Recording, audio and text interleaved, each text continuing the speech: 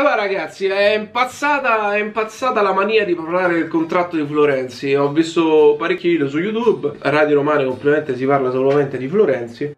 Riguardo di Florenzi bisogna fare dei ragionamenti molto molto chiari e molto semplici. Innanzitutto la stagione che è finita sicuramente non è la stagione migliore di Florenzi Inutile girarci intorno. Ragazzi Prima dell'infortunio Florenzi aveva fatto stagioni molto molto molto migliori E aveva rubato l'occhio ragazzi. Si parlava addirittura di Barcellona all'epoca eh, era un terzino sicuramente moderno eh, con difficoltà nella fase difensiva ma in fase offensiva molto molto pericoloso. Quest'anno sicuramente ha fatto una stagione da 6 diciamo una stagione da 6 perché ne ha giocate parecchie di, di, partite però non è stato convincente in molte. Non ha sicuramente avuto dei colpi vincenti ha segnato pochi gol rispetto agli anni passati potrebbe esserci una giustificazione riferita appunto al doppio infortunio che lui ha subito l'anno scorso. Eh, due, due volte il crociato riprendersi è molto complicato quindi sicuramente questo è un punto a suo favore. Dall'altro lato c'è chi potrebbe dire che comunque la Roma gli ha pagato lo stipendio anche quando lui era infortunato e sicuramente non è colpa della Roma che lui sia infortunato. Quindi le pretese contrattuali in questo caso dovrebbero essere eh, minori.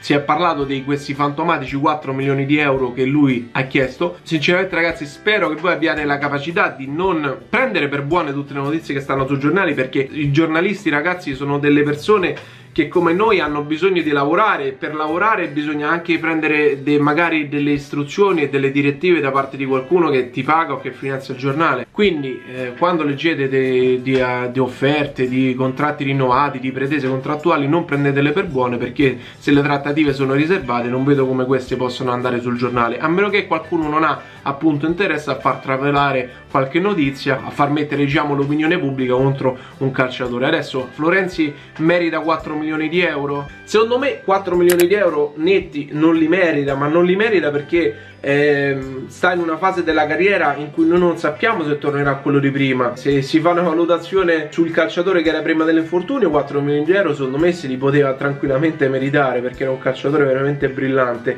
Però quest'anno ragazzi è sotto gli occhi di tutti ha fatto una stagione mediocre. Quindi secondo me la, il, la valutazione corretta è su un, su un 3 milioni netti perché eh, se è vero che da una parte lui eh, non è prettamente un terzino. E l'anno prossimo potrebbe rischiare addirittura di non avere un ruolo da titolare.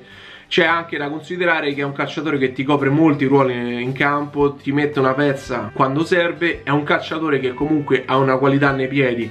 E ragazzi non possiamo dire che Florenzi non ha qualità nei piedi perché ce l'ha, ha fatto dei gol pazzeschi in passato. E quei gol pazzeschi non li fai se tu non hai la capacità nei piedi. Ecco secondo me un 3 milioni netti Florenzi se li merita ci vogliamo mettere più bonus. Questa è la valutazione corretta. L'unico appunto che vorrei fare a Florenzi è di tornare ad avere un'umiltà l'umiltà che l'aveva contraddistinto nelle prime stagioni a Roma. Se molti tifosi fanno questo appunto evidentemente è vero si si intravede nel suo modo di stare in campo, nella disponibilità nei compagni, nel modo di lamentarsi con i compagni.